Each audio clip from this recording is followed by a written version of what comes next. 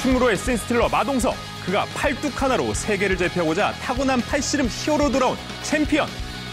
악력 하나로 모두의 마음을 쥐었다 폈다 하는 준비된 챔피언에 주목해볼까요?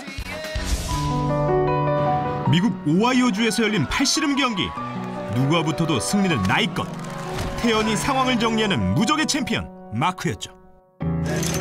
헌데 현재는 슬럼프에 빠져 생계형 보안 요원이 된 그 하루하루를 무의미하게 보내던 그때 이번에 한국에서 팔씨름 대회가 열리는데 형 딱 한 번만 마지막 재기를 위해 한국행을 택하는데요. 한국에서 비즈니스 나왔지만 플랜 싹 다 짜놨으니까 호텔은 어디야? 호텔 대신 마법의 성. 한편 그가 한국에 온 또 다른 이유 개미 같아 오빠 너무 커 바로 가족을 찾기 위해서였죠. 사실은 저희 엄마 아들이에요. 여동생과의 첫 만남을 뒤로하고 마크는 대망의 몸풀기 게임에 들어갑니다.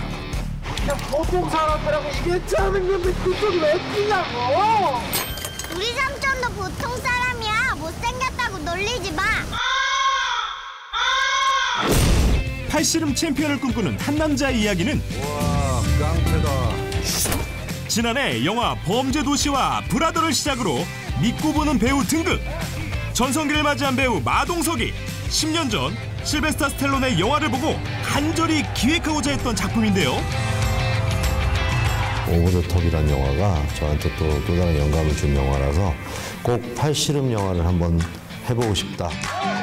대한민국 최초 팔씨름 소재로 한 영화를 만들기 위해 무려 20인치의 팔뚝을 장착 선수 비주얼을 완성했을 뿐만 아니라 본인의 유학 시절 자전적 경험을 녹여냈죠 여기에 싱글맘 여동생으로 등장하는 배우 한예리와 잔머리 백단 매니저 역의 권유리 합류. 따뜻한 가족애로 웃음을 주며 영화 챔피언에 날개를 달아줄 예정입니다. 여기서 결승만 진출해도 세계대회 출전권을 받을 수 있대.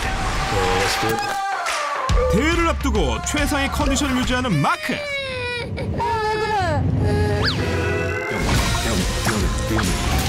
장소 불분 연습 또 연습. 근데 한 놈을 내보내려고 하는데 상대는 오직 나 자신뿐이라며 숱한 방해 공작을 이겨내죠 누가 네 주인인지 몰라? 내가 실력으로 치더라도 포기하면 안 돼. 무조건 이긴다. 팔씨름이 그렇게 좋아? 내가 잘할 수 있는 게 그거밖에 없어서. 가족의 응원과 지지 속에 잘한 것을 좋아하고 즐기게 된 남자 최정상을 향한 그의 승부가 시작됩니다 저기 선생님 여기 내가 여기 아픈데 왜 여기다가 이렇게 이거 내려오는 것 같은데 이거?